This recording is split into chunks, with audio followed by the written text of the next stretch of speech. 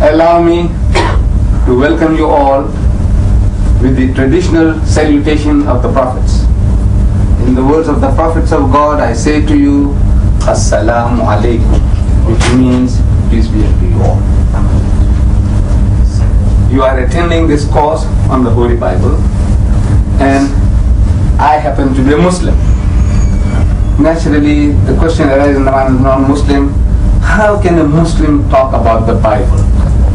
What is his authority? Now, the Muslim world seem to have accepted me as an authority on the Christian Bible.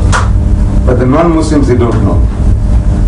And the best testimony, the best reference I can present to those of you who are not Muslims is from the mouth of the opposition. The people who are out there to give battle to me, let them testify about me. This book has been published in South Africa called The Challenge of Islam in South Africa. The publisher, they call themselves Jesus to the Muslims. They are interested in preaching to the Muslims. They're not interested in the Hindus or the Jews. They're interested in the Muslims. Mission to Muslims. Jesus to the Muslims. Now in this book, the author uses the name Ahmed Deedat more times than his Lord Jesus Christ.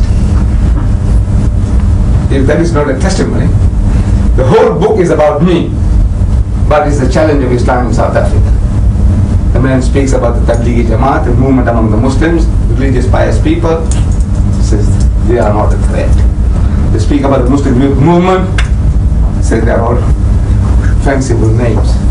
The only guy, you know, who is in the forefront of this missionary work or giving battle to the Christian missionary is Ahmed Deedat. So the whole book is devoted to Ahmed Deedat. Here is another publication called The Commission.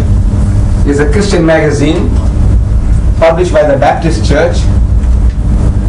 In that they had a Baptist journalist of this commission visiting South Africa and they couldn't miss out the Islamic Propagation Center.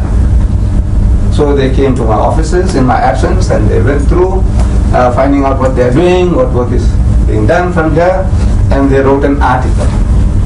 And in that article, a visit to the mosque, all that is included here, they have something to say about Ahmad Deedat.